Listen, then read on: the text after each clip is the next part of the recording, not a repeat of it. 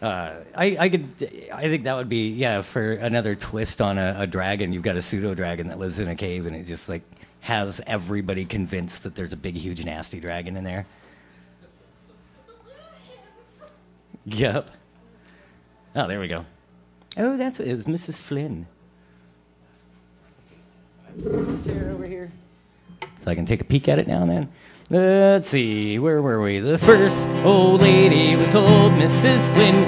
She prided herself on being quite thin. But when she sat down, the poor dear fell in, and nobody knew she was there.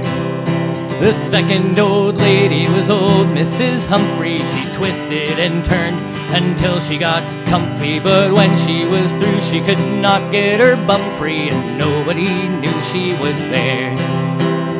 Oh dear, what can the matter be? Seven old ladies got stuck in the lavatory.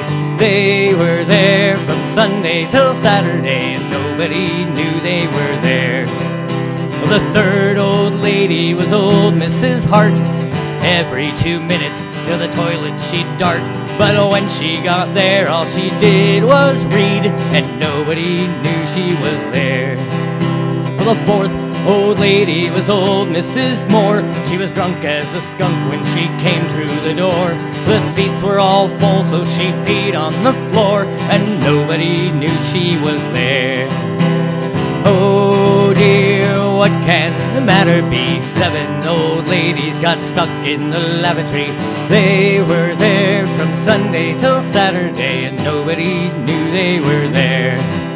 Well, the fifth old lady was old Mrs. Schuster. She sat on the handle and thought someone goosed her. She said, Oh my dear, I don't feel like I used to. And nobody knew she was there. Well, the next was the lady Elizabeth Bender was doing all right till a vagrant suspender got all tangled up in her feminine gender, and nobody knew she was there. Oh dear, what can the matter be? Seven old ladies got stuck in the lavatory.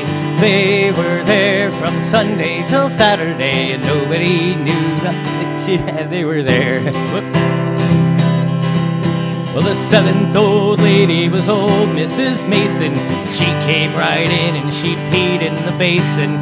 That's the water that I wash my face in, and nobody knew I was there. There we go. Good old song about hiding in bathrooms.